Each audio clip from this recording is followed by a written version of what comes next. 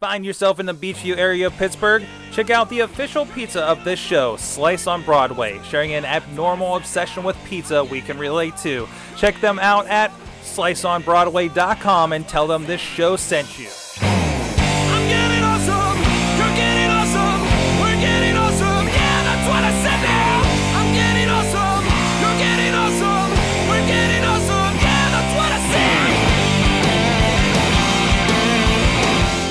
Guys, it's the Awesome Cast 194. I'm Mike Sorg at Sorgatron down here in the studio in Pittsburgh, PA, ready to get awesome Talk Tech, Talk Geek on this tax day.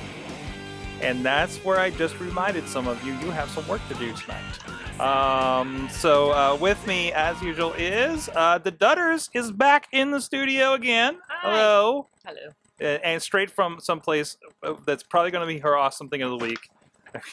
Something from the Verizon store. we'll Could be find out.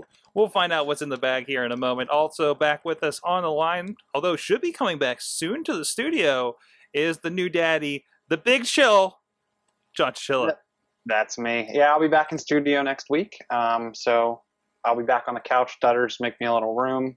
Of course, based on the fact that I'm probably coming back, Dudders will probably not be there. They're Yeah. scared. They're scared. Um, and of course, you can find us. We're at awesomecast.com. Uh, you can also uh, drop us a line. We're over at uh, sorgatronmedia.com for the live stream. You can join us in the chat, just like guys like Chachi, Kill, Crazy. Why do I want to call him Killer Cross? There's somebody that had like a weird Juggalo name back in the day that keeps reminding me of. Uh, Dirt is in there, of course. Father Spoon, uh, Mad Mike, Alex Cars, Kelly Cow, Wheels, and others, of course, ready to get awesome and tell us how wrong we are. That's, that's, Please. that's. There, there are correctors. There are our our, um, our audible uh, uh, uh, autocorrect uh, out, out there, and they yell at us. In the movie show earlier.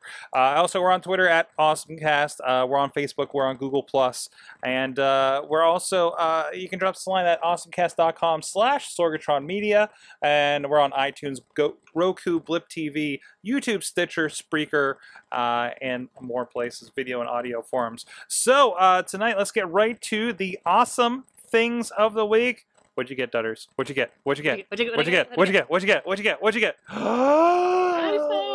It's an iPhone. Now, you, what have you been rocking up until now? a Galaxy Nexus, which, if you're not familiar with that, that was the original Galaxy from Samsung, hmm which is Oh wow, yeah, hmm I didn't realize it was that old. yeah, it's not the yeah. We're up to the five now, and I had the original one. Wow. Uh, so, why did you go iPhone? Oh, gosh, uh, excuse me. Well, peer pressure. No. um, you see me better now? Yes. Look, I'll sit up taller. I won't slouch. Um, now, I've been thinking about going with an iPhone for a while. I have never had an iPhone. I've been strictly Android uh, since pretty much smartphones came about. And uh, it was something I wanted to try the platform um, and kind of broaden my experiences because there was so much more out there for iPhone as far as apps and things go. And I, it's, like I said, a totally different experience for me. I still have my Samsung tablet, so I still have the best of essentially both worlds the Android and the uh, iPhone.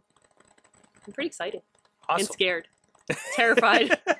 I made a phone call with it and sent some text. so we know it does that. That's good. Mhm. That's good.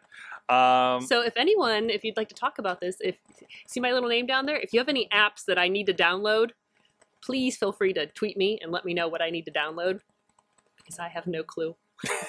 please Oh, help. Well, like I said, at least this was my experience when I picked up the, the my Nexus Mhm. for for my tablet. Was okay. I'm just going through my phone and seeing is there a version of that for this. Since so much of my stuff is in the cloud and on social networks and stuff, I think generally it's it's fairly one to one. I, w- I'm pretty from looking at it. It's it, it seems pretty close. Like everything that I've used on here or on my um, Galaxy will be on there, which is nice. So it's almost to a point where you- you're almost not even going to know a difference. Um, you, uh, to be honest, this, the frightening thing is is the fact that there is only one button down here.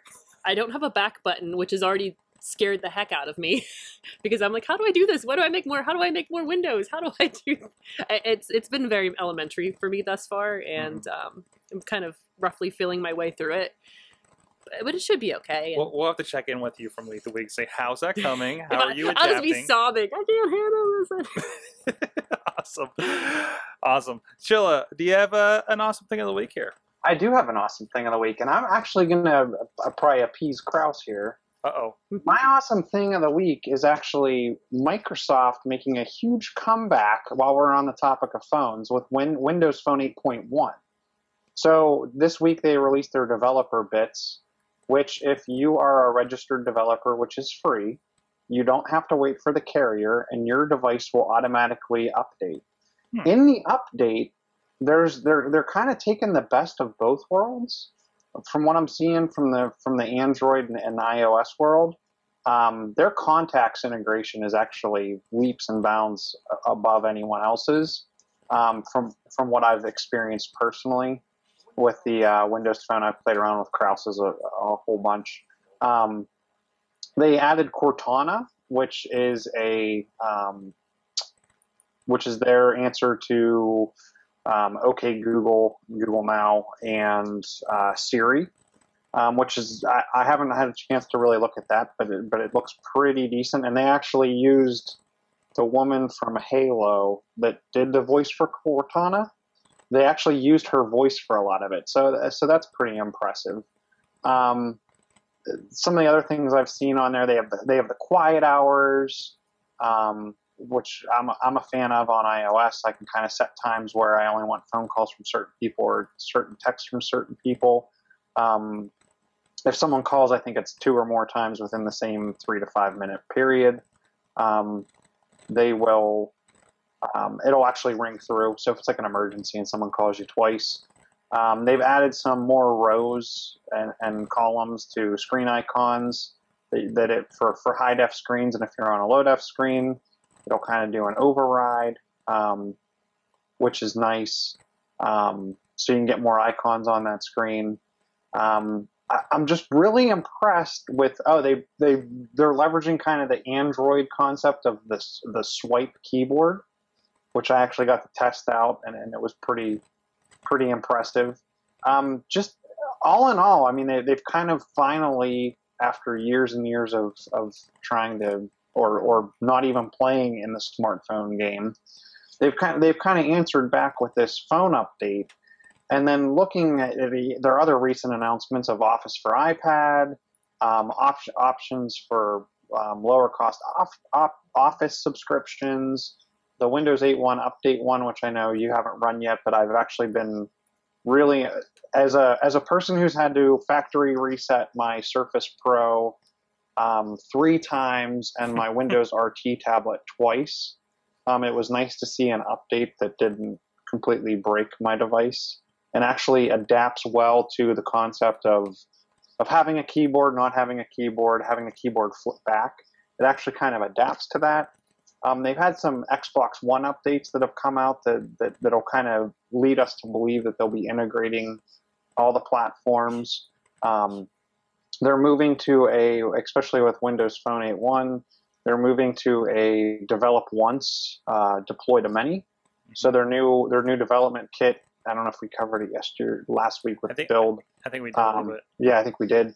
That that's pretty impressive that they're they're, they're going down that route. And then Cortana, seeing it on Windows Phone 8.1, uh, I'm hoping it comes. And, and they said it's going to come to everything else.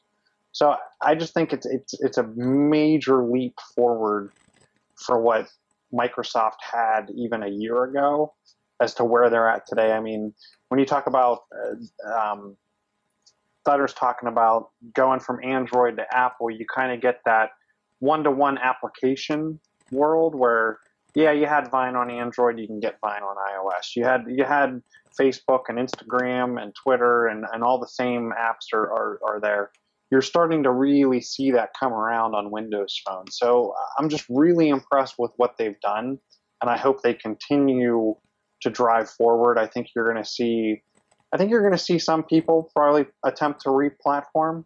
Um, they're picking up things that we're, we've been used to for for years. With if I bookmark something on my my tablet or my desktop, it now shows up on my phone.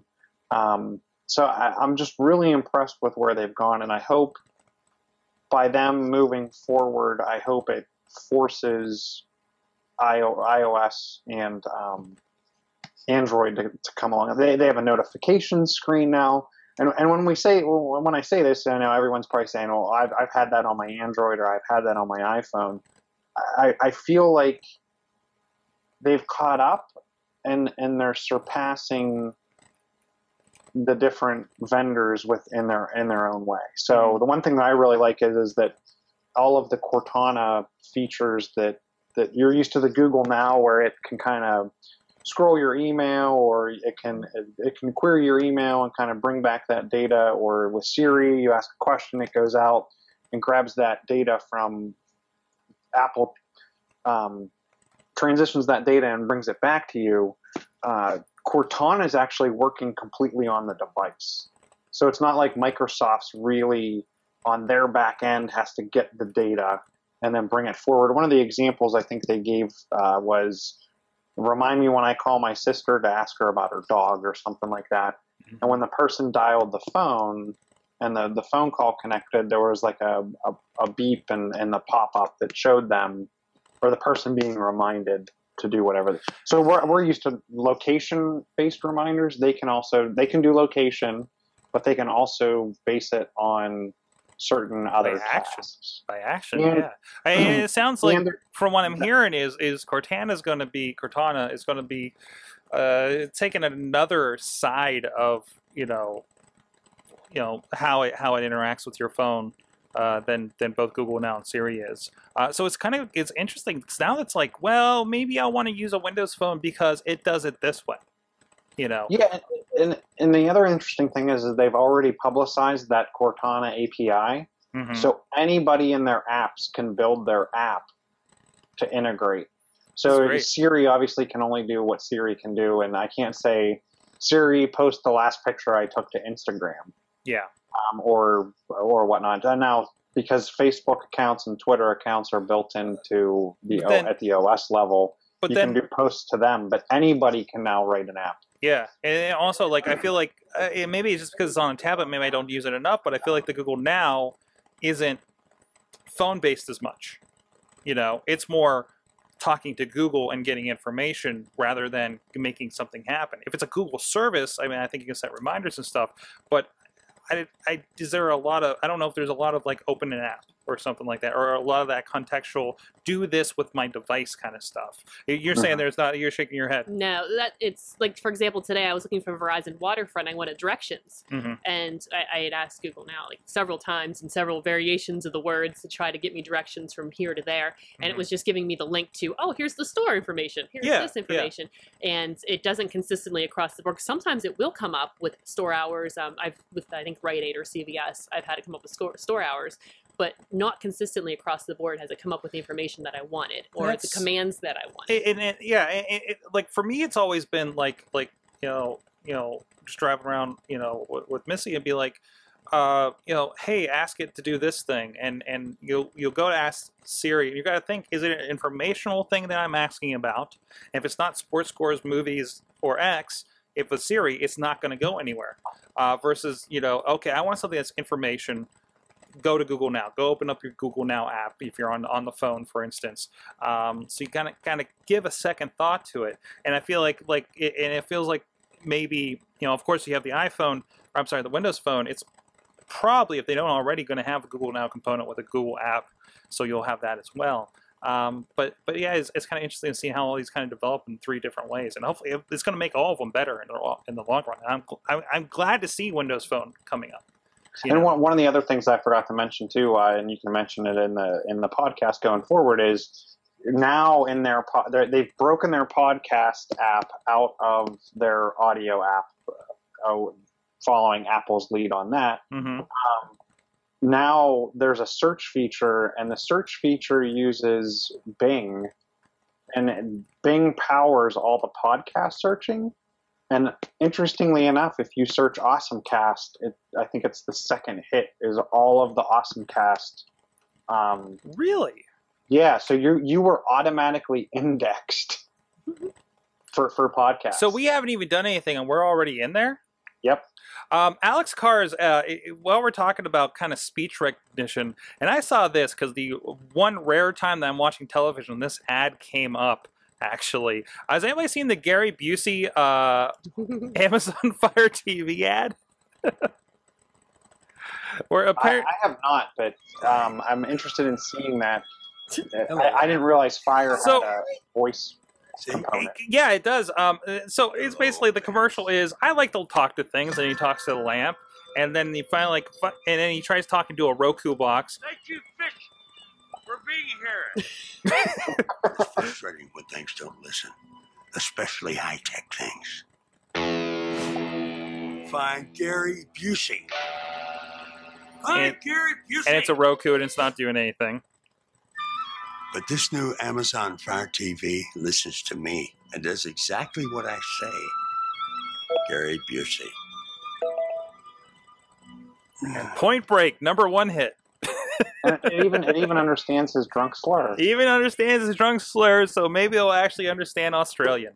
Um, yeah, it, that's that's interesting, and I think that's going to be a killer feature for them. And- And I think it's other than the games, I think it's the only thing that really makes it kind of stand apart from a Roku, or unless you're just very, very already baked into the Amazon ecosystem there. Um, so I'm interested to see how the voice works on that. I haven't really heard much for reaction.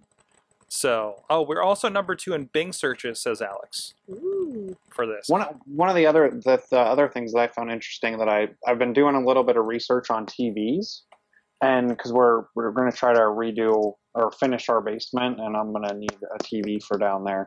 Um, one of the things I've seen Samsung starting to do, and I think LG starting to do it, and I'm seeing a couple other vendors. They're putting the mic in their remote, but more importantly to me, there's a component on the back of the TV that looks probably about the size of the Kindle or the Amazon Fire box Mhm. or like an Apple TV, and it actually like clips into the back of the TV, and it's the guts of the smart TV side of the TV. So things like voice search then become uh, upgradable. The processor, like my my uh, my Samsung TV, I think has like a, a dual core um, ARM pro- gigahertz ARM processor. All of those guts of the TV will be upgradable. So I- think voice interaction with your TV is going to be heavily upcoming. Microsoft's going to play big on it. Obviously, Amazon's playing big on it. I- I think it's it's it's definitely going to be an extension into the TV realm. Alex just yelled at his phone and I couldn't find Gary Busey. Putting that out there. Awesome. So we'll keep a look at that. The phone wars continue. I'm, I'm kind of digging it. Uh, so uh, it's tax day. Everybody get their taxes done. Probably not last night like I did. Um, I, I just want to say that I my my taxes were filed on February eighth. Oh wow! Um, so yeah, I was I was an early bird, which was Look at nice you making the rest of us look bad, Nerd. man. I knew somebody that uh, will remain nameless that was ch- check doing his today, and it sounds like it's tradition. Um, so there's that. Well, I, you know, I, so I run, I run my own business, so that can get complicated. Um, and although, and, and, and it's taken a couple years to actually figure out all the things I should be writing up, so I don't completely screw myself over. Um, and uh, one big help for that um, is well, one, my wife, because she understands how to do these things. Uh, but I've been using FreshBooks for the last couple of years, and it's kind of a reminder of like, oh, hey, maybe some people should know about this. Um, by the way, I think I see a Macho Man figure in the background of this picture. That's Mhm. pretty awesome. Um, it's an online accounting, uh, it was cloud accounting they call it. Um, but I've been using it for for invoicing, for expense tracking, all kinds of stuff, and and kind of the additional. So when it comes tax time, I have a profit and loss sheet, and I know it's like, oh wow, that's what I made from the business, or that's what I grossed, and holy crap, I'm spending way too much on X, you know. Um, but on top of that, I've been using the apps that they've started coming out with, uh, and you see a little bit here on the video is the actual time tracking. So it's like, okay, I want to be look at. Generally, in the past, you're like, okay, that was pretty much an hour I spent with the client, so we'll just go ahead and mark that. But if it's something where you know, I find myself in these these tasks for clients where, well, that's something that's probably going to take you 10 minutes to do, but you need to, you know, you need to make sure that's in there. Bless you. Um, you're hiding the well. Um, so it's really nice to go in there, actually just hit start on it, and then you can record that through, um, uh, you know, kind of more, you know, more accurately uh, to make sure you know you're not screwing over them or you know back and forth and, and whatnot.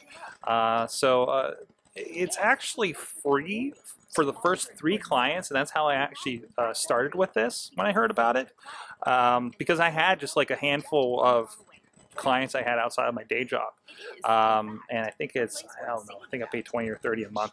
Uh, now that and that gives you up to like I think twenty or thirty clients. I, I just hit the ceiling after like three years of using this uh, and paying for it. So, uh, so if you're doing even if you're just doing a couple of those odd side jobs like freelancing, I really really recommend this. It's at freshbooks.com.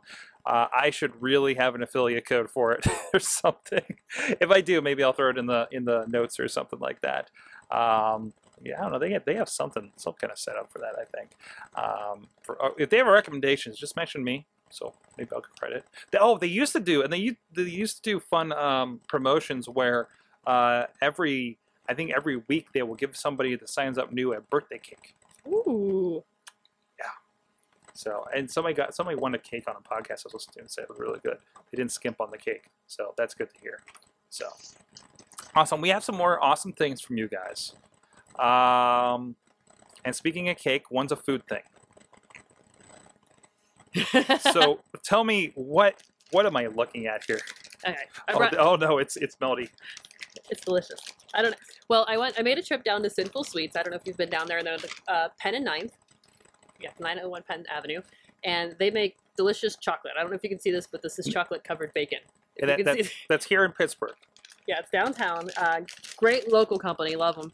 Uh, the chocolate's amazing. I have brought Sorg with me, a some chocolate covered bacon, and a chocolate covered chili pepper. I have not tried the chili pepper. I've been warned repeatedly about the chili pepper, but I have not tried it. So we've we've agreed. Well, apparently it's been sitting on my hot laptop this whole time. this is gonna be messy. Uh, I have another one. You Uh, no, no, I'll, I'll make this work. I'll, I'll, I'll just kind of make this work, I guess. So, grabbing my drink. so you want me to kind of? You want to try, try the bacon first? Mmm, bacon. That was a lot better than I expected. Yeah.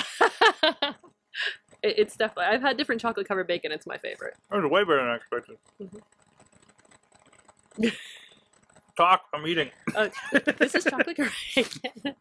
now, um, it's it, it's a great company, and they also do a lot of special orders. Um, we have we have a friend of the show, Baby K. Um, her mom cannot have milk products, and he's been able to order and create chocolate for her without milk, which has been fantastic for her. So she's been able to enjoy things like hot chocolate that she's never had before. Oh, now we're gonna do the chili pepper. You want me to do this first? Oh, you're going first. Oh, great. This will be fantastic. Oh my god. That was quick. Is it real hot? That was quick. Uh huh. Is it, can you can you do you get the seeds in there? Is that what's it? Oh ho ho! Yow! so if you want to see, that's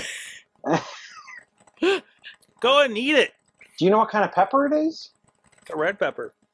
Like, is it like? But like, I think red could be like habanero. It could be. There's a bunch of different peppers. I don't do know. that. Can you tell from that? Nah, I'm not a pepper connoisseur. Holy crap! yeah. Holy crap! That is hot. it's delicious, but it's so hot. My mouth says stop eating it, but I So can't. sinful sweets. Go check that out. Chilla, give me something else to talk about while we So, so recover. while, while we're on the topic of food, and I forgot to put this in the show notes, so I just recently added it right above the Sinful Sweets PGH from Dudders. Um, there's a there's a some uh, privately owned coffee shops in the New York City area that have teamed up with an app developer, and you can actually subscribe to unlimited coffee all month long. Which for me, I mean, there's the more I, I, probably drink six cups of coffee throughout my workday. Hmm. So forty-five dollars would definitely be a savings to me. And, and you can kind of go in to any one of these stores. And from what I understand, it's if you're familiar with the the Starbucks app or any one of those apps where you can kind of scan a barcode. Um, this will let you um, go in and you get unlimited coffee. I would love this. I wish I wish someone else would even if even if Starbucks did this or any other coffee vendor, I would I would subscribe to this in a heartbeat. Now, because I found myself spending way too much money on coffee, I actually have K cups um, shipped direct to my to my desk at work Oh wow. because we I I was running through all of our K cups at home and going to Starbucks is way too expensive six times a day. Um, so I I have I have the K cups right at my desk. But this would actually for me I go through um, probably a little over a case, uh, probably almost two cases of K cups a month. Um, so this would actually be a cost savings even to the K cup type thing. And they do have some su- subscription levels in here where I think the the base forty five dollars a month gets you um, mostly any type of coffee and tea. Um, at the eighty-five dollar level, it gets you uh, espresso, americano, cappuccino, lattes, macchiatos, iced coffee, blah blah blah blah. I'm not too interested in any of those, but the co- the coffee alone to me would be worth it. So anyone in Pittsburgh, um, Crazy Mocha, anybody, uh, please, Please, crazy mocha. start something like this. I can't remember who's doing the Twitter right now for us, but please at crazy mocha on this one with this article. I mean, I, I actually stop. My first stop off of the train in the morning is a Crazy Mocha in the T station. Then it's to my desk. Then usually it's a K cup or or six before the end of the day. Sometimes with intermittent Starbucks trips in between. So uh, this this would get me going back to wherever. There's there's a couple um, private coffee shops right around. I, I work in the UPMC building downtown. Um, there's a couple independent shops right around there that I'd be willing to to walk across the street to. So There's a good point in, in the chat room that uh, Starbucks would lose money on you. At this well, point, no, well, no. Starbucks lost money on me when K cup when when I started when I switched to K cups because I mean I I- with K cups I think they're about eighty cents a cup, uh, give or take when you're when you're buying in mass quantity. Um, whereas I mean I'm two dollars and fifty four cents a trip to Starbucks. So so they quickly lost out when I figured out how much money I could save a day, a week, a month, etc. Um, just by m- removing Starbucks and substituting in the K cups. so so side note, back to the sinful sweets, we started to discover that the chocolate covered bacon actually soothes the burning from the chocolate covered uh, Mhm. other thing. We're over here inhaling this. We're Like. We're like, I we're over here wiping our noses. It's amazing. Yeah, it's pretty serious. So, I'm not prepared for the next thing. I'm sorry. I have to. I have to admit, I've already had to go to I forget. Your iPhone. awesome. Um, uh, we just got a bunch of awesome things here. Uh, tell me what's going on with the Simpsons Dudders. Ooh, you know, in August they're coming to FXX. Yep. Starting with a 12-day marathon. Are they just showing Every, everything? Everything. Every single Simpsons episode. FXX back Wow. I think last year bought every single episode of The Simpsons, and now they're going to show it in a 12-day. Wait, did they marathon. have to? They really have to buy it because isn't FX FXX Fox who owns Simpsons? I'm not sure about that, but I thought they had to pay for it.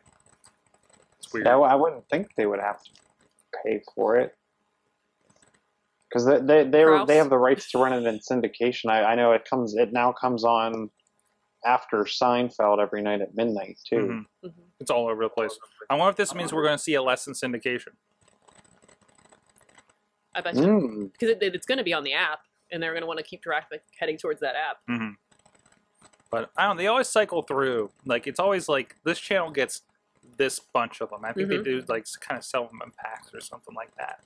So thank you, awesome cast tweeter. um, so go check that out. FX FXX. I'm so out of the loop on this because I don't have cable. So Well, there'll be an app soon enough. I just in I August. just watch it on the Hulu. on the Hulu's. Do you watch it on the Hulu's? I watch it on the Hulu's. I'm just catching up to it. I, I watched like three or four episodes from Mhm. like this season on Hulu. So that's my way. Mhm. Uh, tell me about VidStitch. So VidStitch, um, I was scrolling through um, Instagram the other day, and all of a sudden I started seeing people's pictures, and I'm sure people are familiar with seeing a picture that's cut into maybe three or four frames, and Yeah. it, it's multiple pictures in the same picture. Well, I was scrolling right by it, and and I was like, wait, what was that? One of the frames was a video. So it was a still picture in it was like a, a long frame at the bottom for the like the bottom half of the picture, and then the top was cut into into two frames um, in half. And the one frame was animating and was a video with sound. And I'm like, what the heck is it was really eye catching. So I'm like, I wonder how they did this. So I started Googling around and, and trying to find find apps and there, there were there were a bunch of people that had posted like ways of doing it in an animated GIF and, and doing different things. And then I found VidStitch, which um, is available. There's a free version on Google. There's a pay version on Google for VidStitch Pro. Um, there is one. I think there's only one version on iOS. No, they got Interestingly they got they got both of them actually. Oh, okay. The iOS Pro version is 99 cents, whereas the Go- Google version is three dollars. What's the difference? I don't think anything. really what. Probably just has ads or something. I'm downloading the free version Oh, right the now. free version, the, the free versus the pay. I, I I'm guessing there's probably some extra frames or there's there's extra of, of something, but um and probably maybe advertising in the app. But uh, it, it's it's a pretty impressive way to get your content when being scrolled through relatively quickly. I mean, I, I go into Instagram and it's like, okay,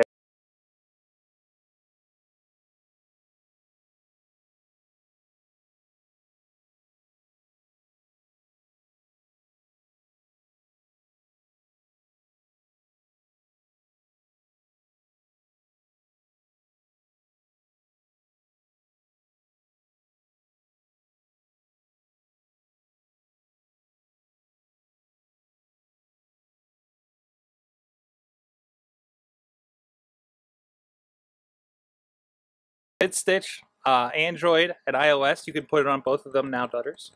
Oh, I, Mm-hmm. don't, I want to have so many videos and pictures and out of control. It's Uh, amazing.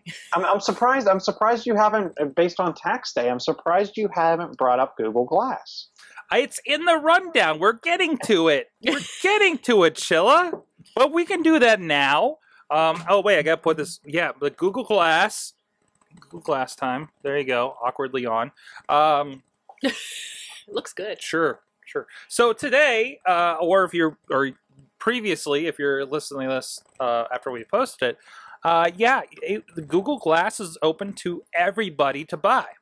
I think, I don't know why. You know, I, I, it feels like this is the last ditch to get a bunch of these units moved out before they do the final release version.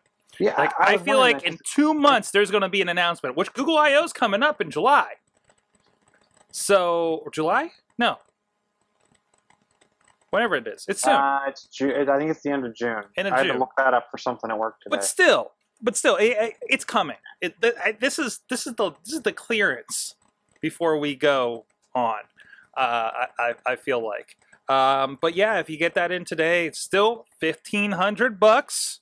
Um, I don't know. I, I think they sold. Uh, I'm reading an article here. They sold out of the cotton color oh, um, almost immediately.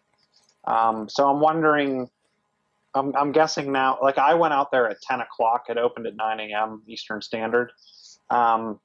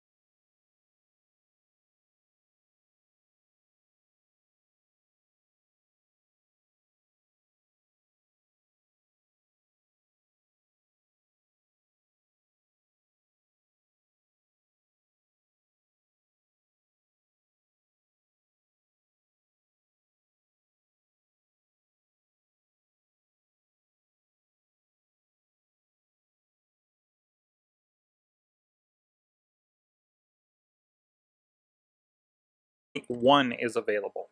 Now So- they were doing like if you go back to last year, there was XE, XE one, two, three, four, you know, up through twelve. There was one each month. This is the first update we've had this year. Yeah, and and I've heard that, and I read somewhere today that when they move to this KitKat model, you're going to lose video calls. So I don't know how often you used video calls, and I don't know if it's something that we they're talking about like the, the the Hangout video calls. You think? I guess I, I don't know. I'm gonna plug this in and actually update it right now. I didn't I didn't read the fine print. Mhm. Um, let me see if I can find an article. Um, I could probably move to a, to another. So wait a minute, glass update. So here you go. Um, that 12.1. Mm-hmm. You might as well just ignore that because um, glass update XE16 now rolling out. Really? First, you'll have to be. Well, don't ignore it. First, you'll have to be updated. You're you're making me conflicted, 12.1. Chilla. So, so you have to go to 12.1 to get things prepped, so you can get to 16. Wow. Um, this brings the platform to KitKat and a handful of changes and new features. Um, we're looking at what's new. We'll tell you how it works. We'll anything worth reporting on. I'm really I have to get lenses on this thing because it's just too too annoying to try to wear like on top of my glasses. I've been like you know having like like welts in my nose from from like having them pile on and everything. It's just been way way too uncomfortable to, to be using on a regular basis. So uh, I'm looking at nose prescription, see if I can swing it. But yeah, we'll see. Just- Too bad Dudders was a Verizon uh, customer. You could have used her Nexus, her Nexus um, with your glass on AT and T. Oh, actually, they well we've talked about it on here. The the MyGlass app on the phone actually does the screencast and everything now. Oh, there's the my there's my glass for iOS now. Yeah, yeah, it, it, Oh, it, wow. it, it does most of the features. Um, so yeah, it's it, it they've I think they've pretty much gotten parity as far as that goes. I think some of the SMS features aren't working. I think the GPS stuff was working. Um, so I mean, it's coming along. I'm actually Cool, trying to update it on the screencast since I have to plug it in all the way over there.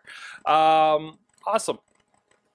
So we actually got an email this week, guys. Uh, Alex Cars is always sending us stuff over. Uh, he says, uh, I was going to make a list of all the techie things uh, people can buy me for my birthday. Smiley winky face. Wait, wait, wait. yes, wait, wait. another birthday. Hmm He said, and- this should be from both of us. So this is from you as well. So you need the techie list as well. Yes, Okay. So it's the Dudders and the Cars birthday. I'm jumping on. Jumping on. but I decided instead to share this with you. Um, it's called Cloud. Oh, it's over at clouddock.co.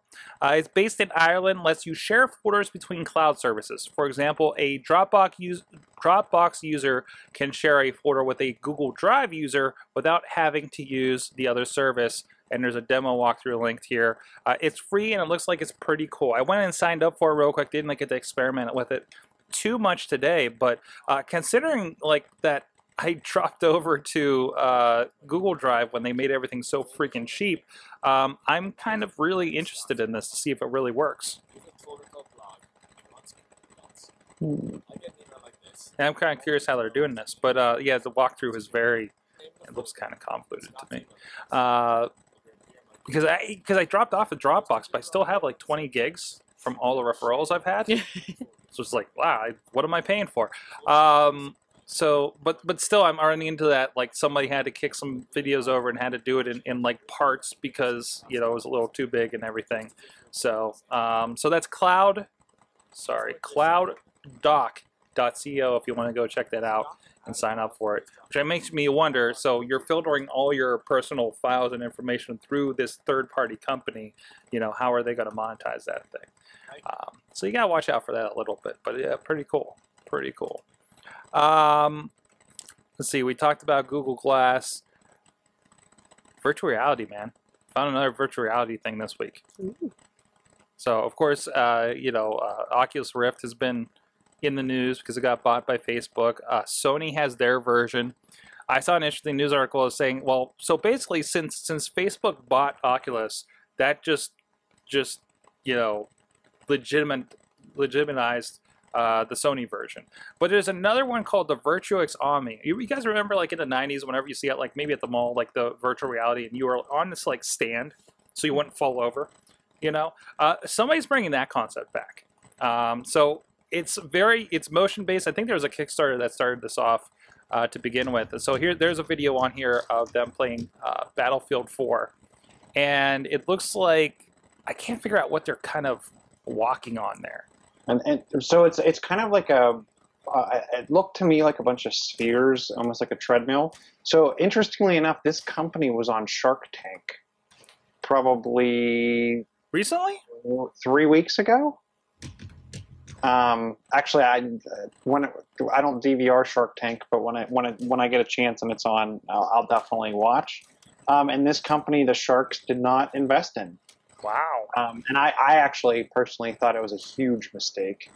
Um, but it, it, the interesting thing about this, so the, virt- the when they were on the show, and I don't know how much has changed and how long uh, from taping Shark Tank to when it hits the public, they talked about their Kickstarter campaign on there.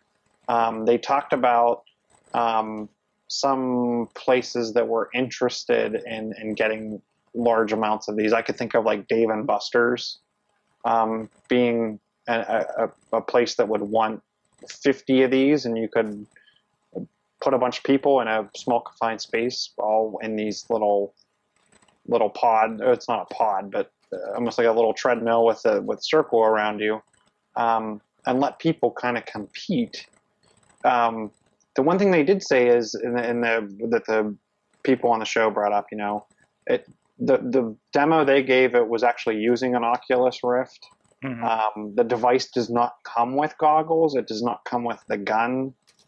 Um, it doesn't come with much. It's pretty much like the treadmill that can then plug into some different. so they're um, more like an accessory. Yeah, this is more of an. It's They're a, an it's a accessory to the $500 accessory. that you need. You need some space in your house for.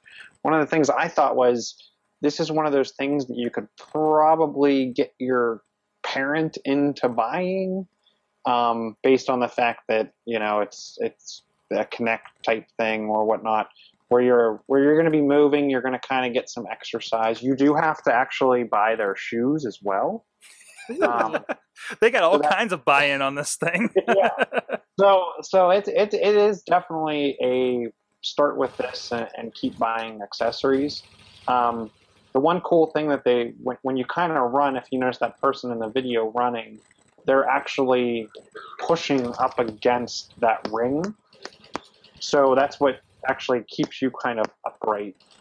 And, and I think when they showed when they showed someone from the Shark Tank just jump into it, it took them a while to get used to hmm the virtual reality and the running, like they kind of fell forward, but because that bar was there, they were able to kind of hold themselves up in place and keep running with it. So I, I think it's definitely an interesting concept. I could see it taking off.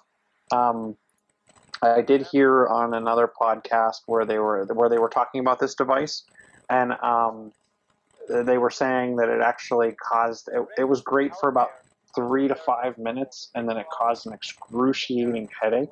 Jeez, and that's the problem Which with a lot of these. Yeah, which I've heard a lot about.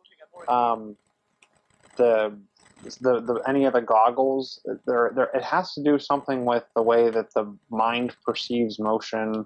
Obviously, if you're, I think if you're if you're prone to motion sickness, it's definitely going to be a problem. But it also has to do with something in the way uh, frames per second and what you actually see in frames per second, and these devices aren't keeping up um, with how your mind interprets video, which can can cause a lot of people headaches. So hmm I I, I, th- I think it's something that can be fixed through software or or hardware updates in the future, but it's definitely keep this in mind before you, you rush out and buy one. Not to mention the amount of space it's going to take up in your house, especially if you have uh, more than one kid that's going to want to use this at a time. And, that's that's a problem with them because you, yeah, you have your your vision needs to sync up with the rest of your senses, right? Um, and I think I talked about this when they were making a lot of noise on Kickstarter a bit, but the, the technology that um, that they had for uh, uh, that, that that actually they started developing over at Valve, and they actually let the person go and let her take the technology with her. This Cast AR technology. Um, I always thought that was interesting because it seemed to solve that problem a little bit because you're actually looking through shutter glasses at, and, and in this case, this video that I found real quick here, there's a surface, and whenever you look at that surface, it's actually, um, if you see the goggles here, it's actually projecting, like actually light projecting onto the surface, and then the shutter glasses are giving the 3D effect. So in the end, like since you're actually looking at a surface, hmm and interpreting that. And I'll see if they can find an example of like how it's actually working. Um, it you know your your body kind of makes up for the rest of the sense issues. and has that 3D perspective, and you don't have as much of a. success. I think I think people that maybe have a problem with 3D glasses in general are still going to have a problem. And that's a problem with all this is, is, is some people just can't deal with this extrasensory uh, uh, stuff, and I, I until that problem gets solved, I can't see a lot of it catching on. You know, Those, those people we can't just even- need to go lay I- down. what's that? go- I said those people just need to go lay down, go take a nap. Well, I can't go see a 3D movie with my wife because of these issues. So, so uh, I, I don't think she'll like it if I just say go take a nap. And one of the things I've heard that, that we may see something by the end of summer is um, some major breakthroughs in glassless 3D. hmm So it'll be interesting if if that'll Wasn't- solve. Isn't the uh, well, one we already had that with the Nintendo 3DS? I think the the the rumored Amazon phone. Yeah, that's supposed that's to where have I, this. where I saw.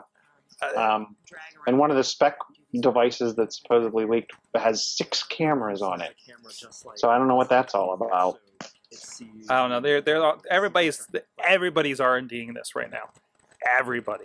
If we, I would be amazed if the next within the next three years we don't have a solution to the 3D virtual reality, especially with somebody like Facebook throwing money at the problem. They're going to figure something out. They know this is not.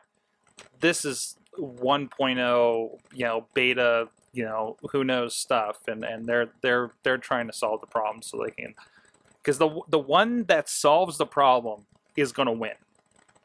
And and win huge i think. And right now nintendo's the only one with a kind of a viable option and they even have a 2d version. So whatever that means.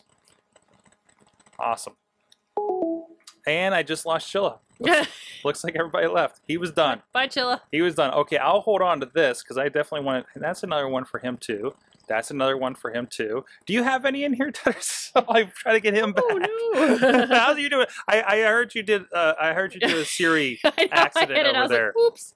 Um, I'm doing pretty well over here. I finally got the um, I got my iTunes set up, and like I said, I had to go to I forget already.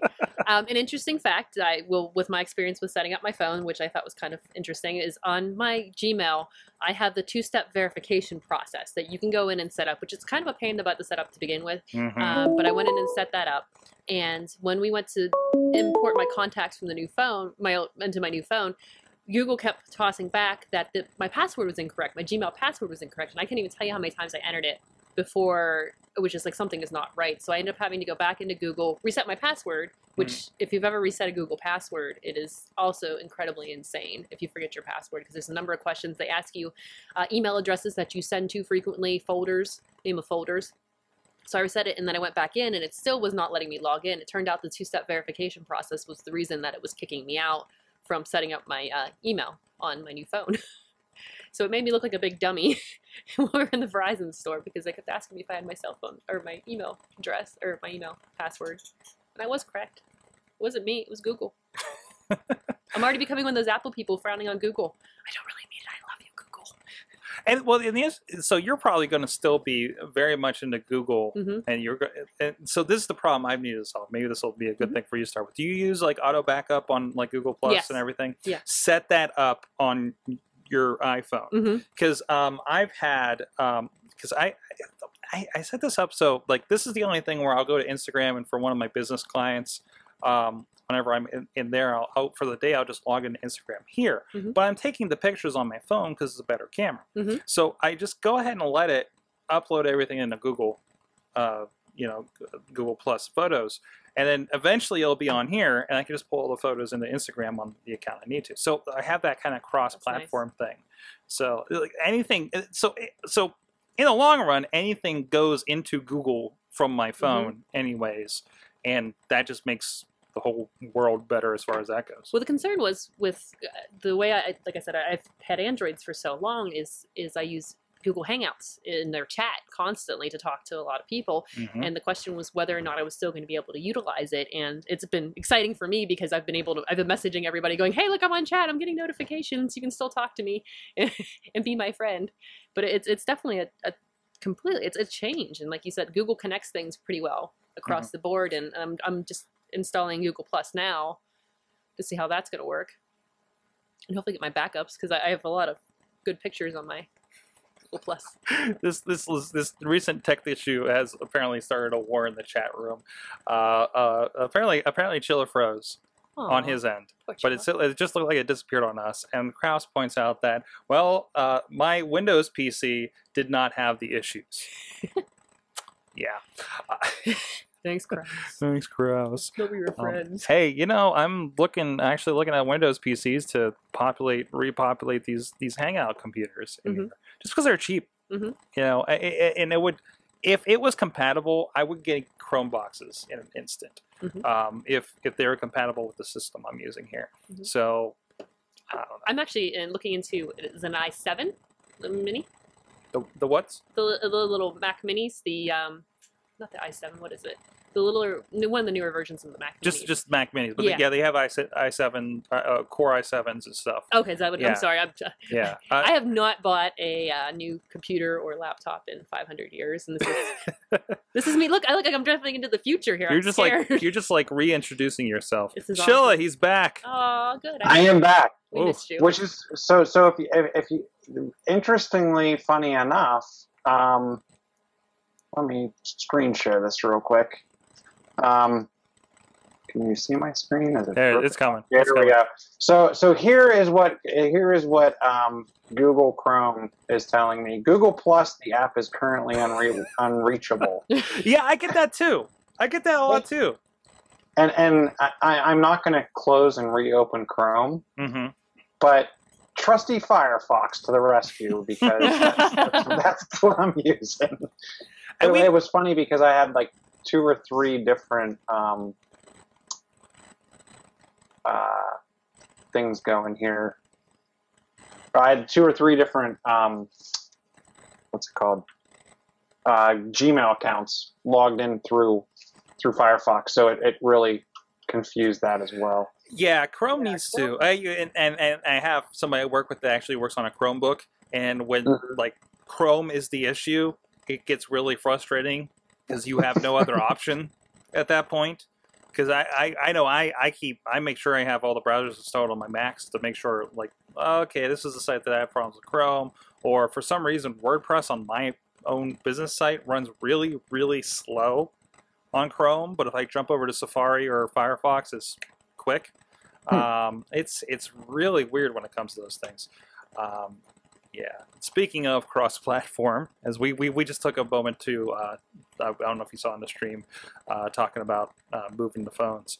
So, uh, so the thing I wanted to get you back for, uh, and I think you, you were actually, you may be like, between you and AJ, I think we're talking about this on Twitter already. Amazon buys Comixology. Mm-hmm. My response is, what took them so long? I'm sure it had to do with probably money.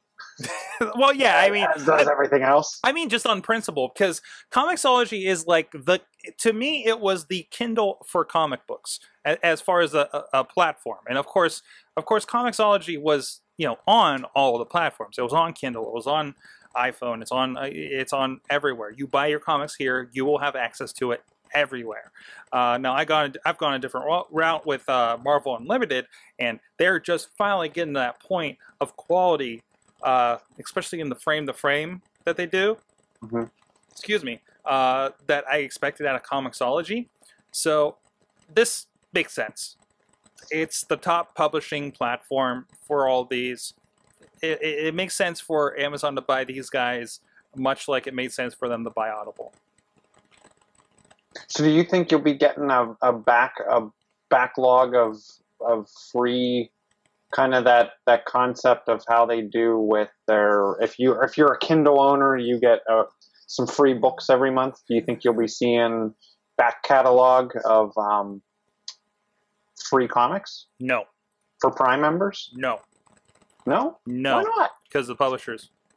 Ah, the the publishers I I I've, I've sat in on a couple of them when they were talking a couple years ago when they were talking about digital publishing um, they I mean look at the progress of digital publishing with the comic books. Um, they are very very gun shy. Yeah they have like Marvel Unlimited now but that's just Marvel. DC doesn't have anything equivalent and I really can't see them doing too much of that you know? I I, I I would be very surprised if it became a regular thing. And if they did, to me as a comic book fan, I think it would be so spotty I wouldn't care. you wouldn't care what? I, I, I, I wouldn't care if it was an option. Um, because like the way I read comics, it's like I need to be able to read through comics. Now, when I go to Marvel Unlimited, I know I can read through an entire series up until a certain point, which is about six months six months ago, right? And Mhm. I know, and I sit there. For me, Monday is New Comic Book Day. But New Comic Book- Book Day for me are the comic books that everybody else went to Midtown Comics on, you know, six months ago for. You know, I'm catching up. I'm just now in the middle of Battle of the Atom, which was, I think, last summer's event, maybe, uh, for the X Men. Uh, I'm really enjoying it, by the way. Um, and and and I have my books that I'm reading through and everything, and I go back and say, ah, let's go see, let's go back and see what the Superior Spider-Man stuff was about, and go get caught up on that, and go get caught up on this other thing, and go see what this Avengers title is about. Getting started on Guardians of Galaxy uh, from the last reboot, you know, to catch up before the movie comes out. Um, you know that I just don't see anything satisfying in that way coming out from uh, the publisher relationship with Amazon uh, from this Comixology uh, connection. That's my opinion. I mean, could, I could be completely wrong, but I, I just don't expect that from them. I just don't know why they wouldn't give give someone to get them in there hmm or get that additional user. You'll have random. I mean, you'll have. I, mean, I I think you'll have random free issues, but I think I don't think that's. I don't think it's something. It, it's hey, here's the first three issues of Captain America, just so hopefully you'll buy the rest of them. Sure, which yeah, that's what all this th- stuff means because you keep getting. Oh, I need to read the next issue of Superior Spider-Man to see what happens. Well, I could wait a month for them to finally release the issue from six months ago, or I can click that little thing and buy it for $1.99 digitally, and it's going to push me over to their Comixology Marvel app, most likely. Um, but it's a little broader. I can I can survive and read enough and be satisfied within the ecosystem that I'm paying ten bucks a month for, um, versus versus this Prime thing. I just don't I, I don't think they'll have anything equivalent. I, I think if they do, it's just not going to be substantial. But they say the books the books is pretty rough with selection too. If you're on Prime for that. Now I don't own a Kindle, so I'm I don't have access to that, even though I have access to all the video and everything on Prime. So, but I hear I hear it's not really worth it. Awesome. Uh, tell me about Jarvis on Raspberry Pi. So that was something I was interested in. I'm interested in home automation, and it was a way. Sorry, wrong it- clip. Wrong one. What's that? I, I put on Dudders. I just started mouthing along to your words. I felt it was appropriate. Uh, it's like a ventriloquist. um, so so it, it someone's taken and built built some app application for Raspberry Pi that that will let you do some custom code and you can use your Raspberry Pi to automate a bunch of things around your house. It's something I'm interested in because I've tried with a, a Windows machine and a bunch of VB script and, and batch Mhm. files and all kinds of crazy cobbling together of, of tools and utilities um, to give you that ability to turn on and off lights or set the thermostat or, or anything like that. So I'm in, for for a whopping thirty nine dollars. What am I really? If it doesn't work or I can't figure it out, I can always load XBMC on it and make it a streaming media box. So I'm thinking about definitely giving it a whirl, um, and hopefully hoping that there there's a there's a community kind of out there for it. So I'm hoping I can get a lot of use out of it. So I think I'm going to invest my $39 in a Raspberry Pi and and see what I can do with it. You do need a USB mic, but I I, I have a couple of those lying around, so that's not a huge. I just had, you know, you just you just kind of sparked that into my head. I need to check in on the Skype Raspberry Pi, Pi project and see how. Oh, is there there a Skype Raspberry There Pi? was. There was. There was a presentation a while ago. Um, it looked like it was still pretty janky though. But if to get those, and if I move over to a system where we're doing this over like a direct input, that I can install a few cards in. In uh, now that I have a computer, I can do that too. Mhm. And then instead, because your your feed's coming over desktop presenter, which is coming over the network, and and it gets a little like typically what I see here is not as good as what I'm actually seeing on your computer, right? Okay. and I have Yeah. issues with some other things like on the Mac, it's always delayed. I don't know why. Doesn't matter which one it is, but it's always delayed on a Mac, even when it's like a newer newer Mac. Do you think it's that? Do you think it's Desktop Presenter doing that? I'm pretty sure it's like a it's it's a desktop presenter issue. So I'd like to get to the point where we're just directly pulling your video from these computers or another computer, and then I'm not dependent on that platform. Like I was talking before about uh, being dependent on a platform issue with desktop presenter not being compatible with like Chrome boxes I could potentially use. Um, but the idea that I could just grab a bunch of $35 Raspberry Pis, throw a Skype thing on it, and just connect that with everybody, that's kind of a cool idea. I, I don't know. The, the only thing I know, Microsoft recently, well, and, and by recently I mean within the last couple of months, I thought they said that they were going to discontinue their APIs to allow third-party companies to make. And they would do that, wouldn't they? They would, wouldn't they? Uh, so so there goes that. Maybe I can. Well, it, it, may work. And in fact, Skype's coming out with a box Yeah. meant for podcasting. yeah, and, yeah. Uh, they're and gonna. media. I, I saw this. I'm sure it's way out of my price range, which is not, which is like negative zero. Um, but uh, How far is negative zero from positive zero? Uh, it looks like a baseball f- or a football field from here, from from th- from this angle. I'll, I'll tell you that. So, um, I mean, come on, we get paid in pizza around here, you know, and we're lucky on that one. Uh, So, Slice on Broadway, check them out. I, I may I may have I got to go through a. I'm looking at two laptops right now. I don't know what the processors are in them, but uh, yeah, uh, we have, we have talked about this. Yes, most of what happens down here is based on donations. I didn't pay for Mhm. that monitor. I didn't pay for that monitor. Thanks for that one, by the way, Chilla. Your, your, Oh, no your arm thing that helped out earlier a lot. That's going on on this. which one is that? The Dell one or is the that a Dell, the Dell arm crazy thing. Mhm. So like like most of this this studio, most of this wonderful video you see is donation based.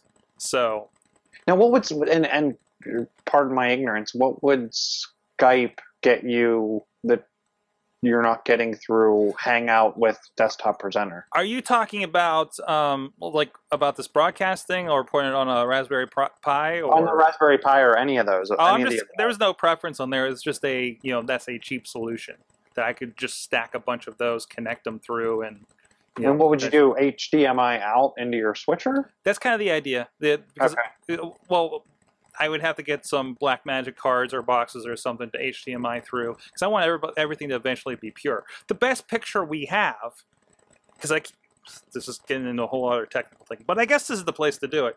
Um, the way Wirecast is right now, um, they, the only reason you have HD video from this camera because this camera is not FireWire. This is a thirty dollar Logitech camera Okay. and so is uh, that one over there. And they look amazing, don't they?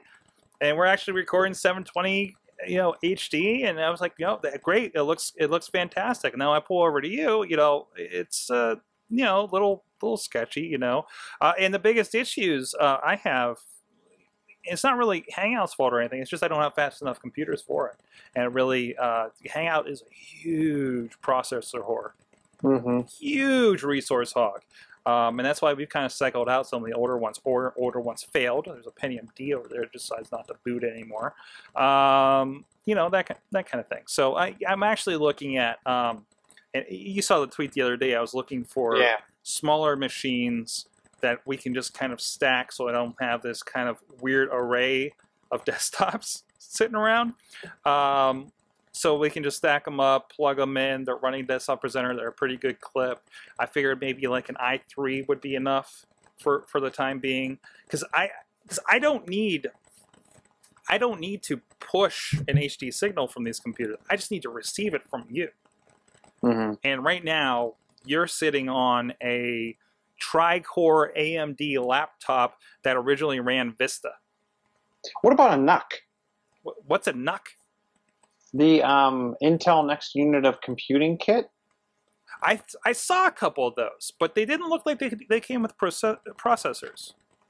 Um, so that's the that's pretty much the only thing they come with. Okay. So like this one I'm looking at right now is two sixty six ninety eight on Amazon. It's an i3 hmm with gigabit LAN, dual HDMI out. Yes. Um, I, I, so these. It doesn't it doesn't come with so the processor's in there. Okay. The, the trick is usually, I would say, two times out of five. Um, so what is that? Forty percent or whatever. So here's here- um, they're, they're, they're, you're not going to get memory. okay. That's- that's not a may- problem. That's you may or may not get um, Wi-Fi and Bluetooth, not a problem. and you may or may not get something to write to like um, SSD. Not so terribly a uh, problem. there, there's where there's where you may get into some problems, but I think you're seeing um, so fully built. I think this one's this comes with like if you want 64 gig of M. MSATA, it's an extra hundred bucks. But I don't need a lot. That, that, that's the thing. I don't Right. need because all I'm doing is just going to sit there. It's running an OS and it streams.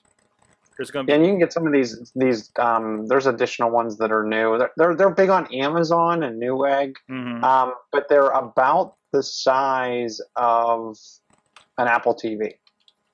and it would be tremendous if um, these could get to a point where I can, like, maybe some of them become these are ones we take to places to make those connections. You know, Mhm. like the reason I would have a Mac Mini, but again, don't have a budget for a Mac Mini. In my perfect world, I would just buy a stack of Mac Minis and we'd be done with it. But again, negative zero budget. You know, um, and maybe that'll change. You know, uh, we have some new projects coming up that may fund it. We don't know. We're working on those logistics right now. So, but the, so I am looking at the point where we're not just like, hey, here's a bunch of computers that I have acquired over the years, and we'll get the most out of it that we can. Let's actually look into what do we need to do to make this look as good as possible still under budget, but at least like dedicating some hardware for it. So I have to drag my poor MacBook down here. You know, I mean, remember the longest time I just took my, I brought my Mac Mini down here every week. The Mac Mini I edit documentaries and crap on, and brought it down here, Wirecast, and the night I carry it back up and start editing. You know, I was just like, okay, we need to get something down here, um, and and we and we did. And we got a Lenovo, and uh, other than my absolute hate for Windows 8, and it's been a little more crashy uh, than I like. Uh, Wirecast mostly works. Cool, cool. Yeah, these these devices are, are pretty much ranging anywhere from like 150 up up to, and you're maxing you're you're maxing out at like five hundred dollars. But the five hundred dollar devices are i5 Haswells with hmm 512 gig of of SATA SSD. I mean, eight gig or eight gig, 16 gig of RAM. So I mean, if you're looking something in the i3 range, I, I think you could do.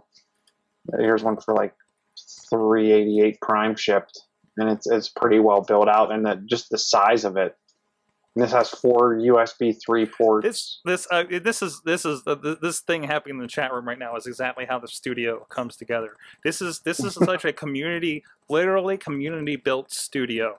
Um, because right now Doug's in there asking about getting rid of a monitor because his wife wants it out of the basement, and that usually ends up here. You know how many? You haven't been here for a few weeks. You know how many TVs are down here now? Um, it's pretty crazy. Uh, it's but pretty fantastic that we're, we've been able to do this. Would you like an eMac? Would I like an EMAC? you already asked me. Yes, I want. it. Did you do you see the iMac sitting over? Do you want a friend? well, it's not exactly what you call small, and Oh, that's fine. That's fine. Especially like old Macs like that because I'm fascinated by that. Because I didn't get into Macs until 2006 ish. So, um, and I absolutely hated them when I was in school. So I avoided them at all costs.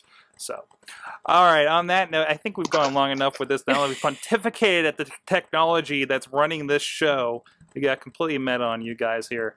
Um, these are conversations we can have later. Also, have Is a the- 32 port router in my basement, still in box. Yeah, yeah. And chill out. I just finally got through the box you sent me last time. Is the Amazon thing up on the website Uh, where I can where no matter what I buy from Amazon it yes, it goes. Um, back to you? do we okay? Here's more inside baseball. Amazon.com is not pointing at the right, or AwesomeCast.com is not pointing at the right thing right now. Uh, Okay. I need to contact the person that owns that domain that's no longer on the show and see if I can get that figured out. Um, it worked. It used to work. I don't know what happened. So now it just goes to a category that shows all the shows on, on the main site. But if you go to sorgatronmedia.com slash awesomecast, it has all those links. That's the awesomecast site. Sorry about that. Um, but we'll see about fixing that here uh, in, in, in the near future. So if I make sure when I buy coffee every month, Yes, go click that Amazon link. and I wonder what happens if you subscribe to coffee. is there a way is uh, can I copy this and email it somewhere? the link? Yeah. I'm pretty sure that's probably not illegal. Well, no, I need to send it to myself at work because I do all my ordering from my work computer. No, actually, I think if you copy the link, it, because the, the the token for my account is actually in the link. the link code Yeah. equals. Okay, cool. Um, yeah, I can, I, I, I can help you bring. Hopefully, I can. So I think if you click, because I the ad I have on there. Why, why are we doing this on the show? the ad, I, the ad I, people watching and listening to the show should help us out. There you go. Well, the ad I have on there kind of cycles through. Like I pulled it up and it has a Kindle ad. Um, but I think if you go through there and just buy anything, as long as you click that link, um, Okay. it should just accept anything. So there's that. And also check on our friends, our uh, Slice on Broadway, you know, that have been supporting us the way we do get paid on this show and others um, in our bellies uh, here in the South Hills of Pittsburgh. Um, so with that, uh, uh, uh, is there any uh, events coming up we should mention? Uh, Tech Cocktail Thursday. Thursday. Dudders, myself, and the wife of the show will be here. Be there. Mhm. So Excited. Do we have to wear cocktail attire? Do I need a dress? I don't know. Can I wear sequins? I'll bring my new friend the phone. yes, you can make a new friend and say, "How do I use this?" what Twitter clients do you use? Help! That'll be Twitter isn't bad. Twitter t- itself. Twitterrific. I don't know what Twitter client did you use on your Plume. Android device. What was it called? Plume. Was it? Is that? Is there, I guess there's no iOS version. I hmm, Did you search the App Store? no. I just didn't know if there was one that was better. She's had it for like an hour. like literally, went from waterfront to here. So Plume Plume is available from what I see on Ooh. iOS. There you go. Plume. I'm Google. Um, well, I'm not googling. Wow, I'm gonna say everything is googling now. I started looking it up in the App Store, and the first thing that comes up is plumber crack. I don't know if you can see that plumber crack. I don't think that's an app I okay. Any other events coming up, Chilla? We should talk about. And that I don't. I didn't see anything big coming up from that's not months out. I, I mean, you got you're we're, you're, you're now you're, we're hitting the lull till June when WWDC hits at the beginning of the month, and we close out the month with uh, Google's I/O. Microsoft just got out of their Build conference. I haven't seen anything to me big and huge um, coming out in the media. All right. It seems like it seems like everybody's waiting or is going to answer back the S5 launch last week. Everybody's holding their breath. hmm Yes. All right. Uh, Chilla is at Chilla on the Twitters. You can hit him up and uh, you know tell him your thoughts on on things. Uh, Dudders is at K Dudders. She's looking for app help and iPhone help. So so send your se- send your assistance or your fanboy hate for having jump ship to the Apple device. Please, please, and uh, look forward into the future when we test this guy. What the life proof. So this is the uh, hopefully it get it survives your phone through the 6.6 gathering of the feet submersion. Yes. Six feet per. You and and, and we, we said you should have asked. Does that um, is it soda proof? Yes, we'll find out. We're gonna. I could drop it from six foot, six point six feet above too. We'll do all kinds of experiments. I'm sorry, iPhone. I'm glad I got some sort of car. I got the, I got the insurance. It's okay. Oh God! Not Apple Care. You got insurance. Insurance. Yeah, I should probably get that before I go. awesome. Thank you, Verizon. And of course, you can join us here on this, whatever the heck this was the last couple hours, uh, at live.sorgatronmedia.com or just go to sorgatronmedia.com, awesomecast.com if it starts working.